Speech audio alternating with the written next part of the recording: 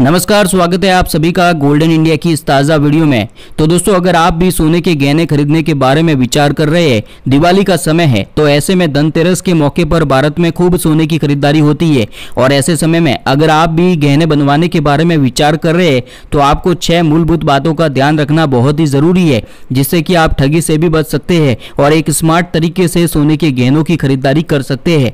आज की इस वीडियो में हम आपको इससे जुड़ी हुई खास जानकारी देने वाले हैं, जो कि आपको कोई ज्वेलर भी नहीं बताएगा। अगर आपको ये जानकारी पसंद आती है तो इस वीडियो को लाइक करना और अपने चाहने वाले को फेसबुक व्हाट्सएप इंस्टाग्राम के माध्यम से इस वीडियो को शेयर अवश्य कीजिएगा। चैनल को सब्सक्राइब भी कर लीजिएगा, जिससे कि आपको आगे भी सोने और चांदी से जुड़ी हुई ताज़ा रेट और इसी से जुड़ी हुई जानकारी आगे मिल पाएगी। तो चलिए शुरुआत करते हैं। दोस्तों, इस समय जब सोने का भाव पिछहत्तर हज़ार के पार जा चुका है तो ऐसे में आम आदमी की जेब पर सोना भारी पड़ता हुआ नज़र आ रहा है। जो व्यक्ति सोने को खरीद नहीं पा रहा है, उनके लिए भी हम इस वीडियो में एक तरीका बताने जा रहे हैं। तो चलिए उसकी शुरुआत करते हैं। तो सबसे पहले तो सोना खरीदते समय किन मुद्दों का ध्यान रखना बहुत ही ज़रूरी है।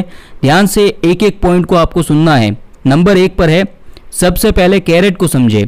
सोना जो है वो अलग अलग कैरेट में आता है। जैसे कि 24 carat 22 carat 18 carat 14 carat.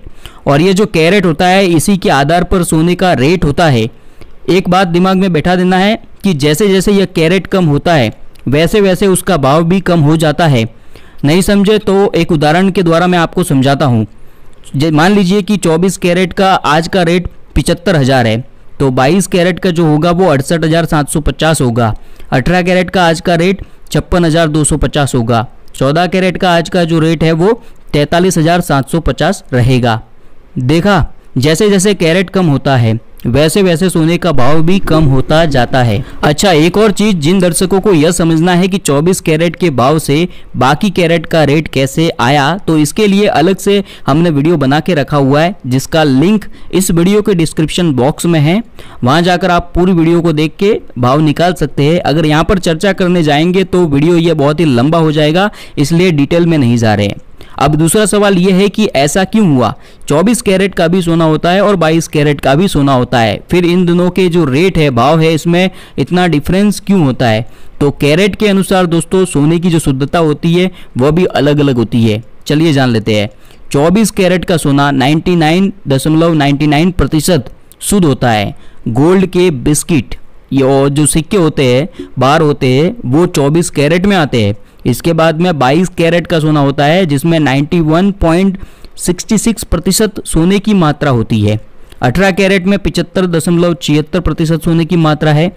14 carat में अट्ठावन दशमलव पचास प्रतिशत सोने की मात्रा होती है। तो जैसे जैसे कैरेट कम होता है वैसे वैसे सोने की मात्रा भी कम होती जाती है। इसी वजह से जो रेट है, वो भी कम हो जाता है। 24 कैरेट के अलावा जितना भी सोना होता है, उसमें मिलावट होती है। इसीलिए उसमें सोने की मात्रा भी कम हो जाती है। और बाकी दूसरी धातु में मेटल मिलाया जाता है। अलग अलग मेटल मिलाई जाती है। जितने भी कैरेट होते हैं 24 कैरेट के अलावा वे 24 कैरेट से ही बनते हैं। 24 कैरेट में चांदी, निकल, तांबा, जिंक का मिश्रण करके ही 22 कैरेट और 18 कैरेट जैसे अलग अलग कैरेट बनाए जाते हैं। ध्यान से सुनना कि दुनिया की कोई ताकत 24 कैरेट में आभूषण नहीं बना सकती है क्योंकि 24 कैरेट बहुत ही लचीला होता है। इसलिए अगर उस उससे गहने बनाने जाओगे तो बन तो जाएँगे लेकिन जल्द ही टूट जाएँगे। छोटी सी खरोज भी उसके ऊपर उभर कर दिखेगी। वो इतना लचीला बनेगा कि आप दोनों हाथों से उसको मोड़ भी सकोगे। इसलिए उसी 24 कैरेट में बाकी मेटल मिलाई जाती है जिससे कि वह ठोस और टिकाऊ आभूषण बन, बना सके।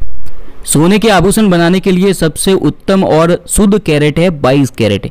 इसलिए अगर आपके पास में अच्छा बजट है तो इसी कैरेट का चुनाव करें। यह आपके ऊपर निर्भर करता है कि आपको कौन से कैरेट में सोने के गहने बनवाने हैं।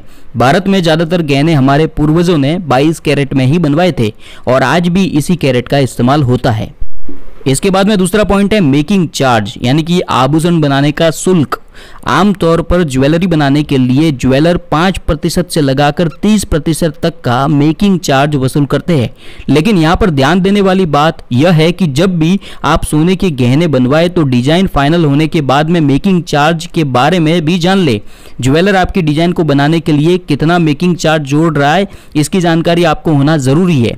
मान लो कि 10 ग्राम सोने की चैन बनवानी है 22 कैरेट में 22 कैरेट का भाव है सत्तर हज़ार आठ सौ तेरह रुपये ठीक है? टैक्स के साथ में। और मेकिंग चार्ज मान लेते हैं कि 10 प्रतिशत लगाया जा रहा है उस चैन को बनाने के लिए। तो इस हिसाब से सात हज़ार इक्यासी रुपये मेकिंग चार्ज और मेकिंग चार्ज पर पाँच प्रतिशत का जीएसटी मिलाकर तीन सौ चौपन रुपये मिलाकर चौहत्तर सौ पैंतीस रुपये सात हज़ार चार सौ पैंतीस रुपये मेकिंग चार्ज हुआ। यानी कि आपको बाईस कैरेट की वो चैन इठहत्तर हज़ार दो सौ अड़तालीस रुपये में मिलेगी 10 ग्राम की। मेकिंग चार्ज को आप कम करवा सकते हैं या फिर कम मेकिंग चार्ज वाली डिज़ाइन को पसंद कर सकते हैं, जिससे कि आपको फ़ायदा हो। साधारण ज्वेलरी में कम मेकिंग चार्ज लगता है, जबकि बारीक डिज़ाइन वाली ज्वेलरी में अधिक मेकिंग चार्ज लगता है। इसके आधार पर आप ज्वेलरी की डिज़ाइन तय कर सकते हैं। हमेशा याद रखें कि अगर आपको कम पैसों में खरीदारी करनी है तो सिंपल डिज़ाइन हो सके उतना कम वज़न वाली ज्वेलरी बनवाएँ, जिससे कि आपका मेकिंग चार्ज भी बच जाएगा और खर्चा भी कम आएगा। मैं आपको आगे बताऊँगा वह तरीका जिससे आप कम बजट में सोने के गहने कैसे बनवा सकते हो। लेकिन अभी पॉइंट नंबर तीन की तरफ़ बढ़ते हैं। पॉइंट नंबर तीन है बायबैक पॉलिसी सोने के गहनों की बायबैक पॉलिसी यानी कि अगर आप ज्वेलर को सोने के गहने वापस बेचते हैं तो क्या वे बायबैक करते हैं? क्योंकि कई बार हम एक तरह के डिज़ाइन से उब जाते हैं तो उन्हीं ज्वेलर को गहने बेचकर एक्सचेंज में नई डिज़ाइन की ज्वेलरी खरीद लेते हैं या फिर कैश ले ले, ले सकते हैं। इसके बारे में आप जानकारी ले। आसान तरीका यह है कि आप जो गहने खरीद रहे उसी की बायबैक कीमत उसी ज्वेलर के पास से निकलवाए, जिससे कि आपको यह समझ में आ जाएगा कि जब वे वापस गहने खरीदते हैं, तब किन किन चीज़ों को ध्यान में रखकर गहने की वैल्यू तय करते हैं। यह आपको स्मार्ट तरीके से गहने खरीदने में मदद रूप साबित होगा।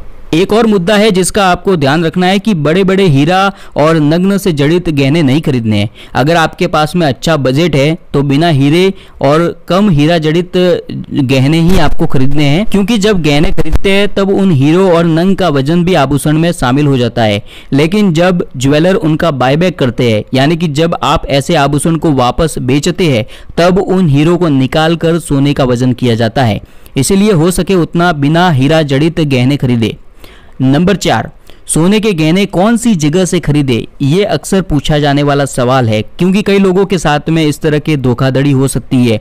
अनजान जगह पर रहते हैं तो उनको इतनी पहचान नहीं होती है ज्वेलर की। तो ऐसे समय में आप सरकारी वेबसाइट की मदद ले सकते हैं। जी हाँ दोस्तों, अगर आप विश्वासु और भरोसेमंद ज्वेलर की तलाश कर रहे हैं तो इसके लिए बीआईएस सर्टिफाइड ज्वेलर को चुनना चाहिए। लेकिन कौन सा ज्वेलर भरोसेमंद है, इसका पता लगाने के लिए आप सरकारी डेटा की मदद ले सकते हैं। आपको B I S dot G O V dot in की वेबसाइट पर जाना है और वहाँ पर गोल्ड और सिल्वर दोनों तरह के ज्वेलर की लिस्ट मिल जाएगी जो कि बी आई एस सर्टिफाइड है। आपके शहर, आपके राज्य में भी ऐसे कई सारे ज्वेलर है। और वहाँ पर गोल्ड और सिल्वर दोनों के जो ज्वेलर की आपको लिस्ट मिलेगी वहाँ से आप सिलेक्ट कर सकते हैं। आपको कौन सी जगह से ज्वेलरी खरीदनी है? चलिए आपको BIS की वेबसाइट पर जाकर इस प्रक्रिया को करके दिखाते हैं, जिससे कि आपको और अच्छे से ये समझ में आए। सबसे पहले बी की वेबसाइट पर जाना है। इसके बाद में यहाँ पर लेफ़्ट साइड में टैब पर क्लिक करना है। इसमें हॉल मार्किंग पर क्लिक करना है। इसके बाद में वापस हॉल मार्किंग पर क्लिक करना है। इसके बाद में ज्वेलर रजिस्ट्रेशन स्कीम पर क्लिक करना है। फिर लिस्ट ऑफ़ लाइसेंस ज्वेलर पर क्लिक करना है। इसके बाद में एक पेज खुलेगा, जिसमें थोड़ा स्क्रॉल डाउन करना है, नीचे जाना है और यहाँ पर list of B I S jewellers लिखा होगा। वहाँ पर दो ऑप्शन होंगे, गोल्ड ज्वेलर और सिल्वर ज्वेलर्स। हम यहाँ पर B I S certified gold jeweller की तलाश कर रहे हैं तो इसके ऊपर अभी क्लिक करते हैं। इस पर क्लिक करने के बाद में मानक ऑनलाइन डॉट इन की वेबसाइट खुलेगी। यहाँ पर आपको बहुत सारे विकल्प मिलेंगे। सबसे पहले तो आपको स्टेट का नाम सिलेक्ट करना है। आप जिस भी स्टेट में सोना खरीदना चाहते हैं, वो सिलेक्ट करें। इसके बाद में डिस्ट्रिक्ट यानी कि ज़िले का नाम सिलेक्ट करें। और यहाँ पर आपको दो तरह के स्टैंडर्ड का ऑप्शन मिलेगा I S one four one seven जो कि B I S gold jeweller के लिए है, और I S two double one two जो कि B I S certified silver jewellers के लिए है। तो हम यहाँ पर I S one four one seven select करेंगे, क्योंकि हमको B I S certified gold jeweller की लिस्ट देखनी है। इसके बाद में सिलेक्ट ब्रांच वाले ऑप्शन में कुछ नहीं लिखना है। उसको ऐसे ही रहने देना है और इसके बाद में कैप्चा लिखेंगे और इसके बाद में जनरेट रिपोर्ट पर क्लिक करना है। तो आप देखेंगे यहाँ पर B I S certified jeweller की पूरी लिस्ट आपकी, आपके राज्य, आपके ज़िला की आपको मिल जाएगी। तो दोस्तों, यह एक बहुत अच्छा उपयोगी तरीका है क्योंकि इसमें जो लिस्ट मिल रही है, वह एक तो B I S certified jeweller की लिस्ट है और दूसरा, हम जो डेटा ले रहे हैं, वह गवर्नमेंट ऑफ़ इंडिया भारत सरकार की वेबसाइट से हमें ऑथेंटिक रूप से मिल रहा है। तो इस तरह से हम समझदारी वाले तरीके से B I S certified jeweller की सूची में से अपने नज़दीक के ज्वेलर का नाम और एड्रेस पता कर सके, कर सकते हैं और वहाँ पर जाकर शॉपिंग कर सकते हैं। इसके बहुत सारे फ़ायदे हैं, जैसे कि जो jeweller B I S certified होगा, उसके प्रमाणिक होने की जो संभावना है, वो बहुत ज़्यादा है। दूसरा बी आई एस ज्वेलर अगर कुछ भी गलत करता है आपके साथ में कुछ भी उल्टा सीधा होता है तो आप उसकी सीधी कंप्लेन कर सकते हैं। पाँचवें पॉइंट की चर्चा कर लेते हैं हॉलमार्किंग और पक्का बिल जब भी आप सोने के गहने खरीदने जाए तो पक्का बिल ज़रूर ले, और जो भी ज्वेलरी आप खरीद रहे, वह हॉलमार्किंग के चिन्ह वाली होनी चाहिए। हॉलमार्किंग शुद्धता की गारंटी है, जिससे गहने खरीदने और बेचने दोनों में आसानी होती है। इसके बाद में छठा पॉइंट है बजट फ्रेंडली कैरेट दोस्तों, जिस तरह से अभी सोने के जो रेट बढ़ रहे हैं, इसका असर आम आदमी की जेब पर भी पड़ रहा है। महँगे होते जा रहे सोने की कीमत की वजह से हर व्यक्ति सोना नहीं खरीद पा रहा है। जबकि शादी ब्याह जैसी रस्म में सोने के गहने खरीदना ज़रूरी है तो ऐसे समय में आपको रस्म निभाने के लिए सोने के गहने भी खरीदने पड़ रहे हैं और सोना आपके बजट के बाहर भी हो गया है। तो उन लोगों के लिए बजट फ्रेंडली कैरेट खरीदने पर विचार करना चाहिए। बजट फ्रेंडली सोना खरीदने के लिए आपको कम कैरेट का चुनाव करना पड़ेगा। क्योंकि जब आप कम कैरेट का चुनाव करेंगे तो आपको सोने का रेट कम चुकाना पड़ेगा। अब यह जो टॉपिक है कि कैसे कम कैरेट में सोने के गहनों की खरीदारी करें, जिससे कि बढ़ते हुए भाव का असर आपकी जेब पर ना पड़े और आपका काम भी हो जाए तो ये टॉपिक जो है थोड़ा लंबा है, इसलिए हमने इसका एक अलग से कुछ महीनों पहले वीडियो बनाया था, जो कि आपके द्वारा बहुत ही पसंद किया गया। जिन दर्शकों ने वह वीडियो नहीं देखा है, उस वीडियो की डिस्क्रिप्शन बॉक्स में लिंक दी गई है। वह ज़रूर देख लीजिएगा कि सस्ती कीमत में सोने के गहने जो है, कैसे खरीदे। तो दोस्तों, सोने के गहने खरीदने के ये वह मूल मंत्र है जो कि आपको हर समय किसी भी जगह गहने खरीदते समय बहुत ही काम आने वाले हैं। अपने चाहने वाले दोस्तों, मित्रों के साथ में इस वीडियो को फेसबुक व्हाट्सअप इंस्टाग्राम के ज़रिए शेयर अवश्य कीजिएगा। वीडियो पसंद आए तो लाइक करना बिल्कुल भी मत भूलिएगा और कमेंट में अपने शहर का नाम सिटी का नाम ज़रूर लिखिएगा। आपका कोई सवाल है तो भी आप पूछ सकते हैं। इस वीडियो को लाइक ज़रूर कीजिएगा। क्योंकि इस तरह की जानकारी आपको कोई ज्वेलर नहीं बताएगा, जो कि हम आगे आपको इसी तरह की जानकारी उपलब्ध करवाते रहेंगे, जिससे कि आपका भी फ़ायदा हो सके और आपका एक लाइक हमारे हौसले को बुलंद रखने के लिए बहुत ही ज़रूरी है। इस वीडियो को लाइक ज़रूर कीजिएगा, चैनल को सब्सक्राइब करना बिल्कुल भी मत भूलिएगा। जय हिंद, वंदे मातरम।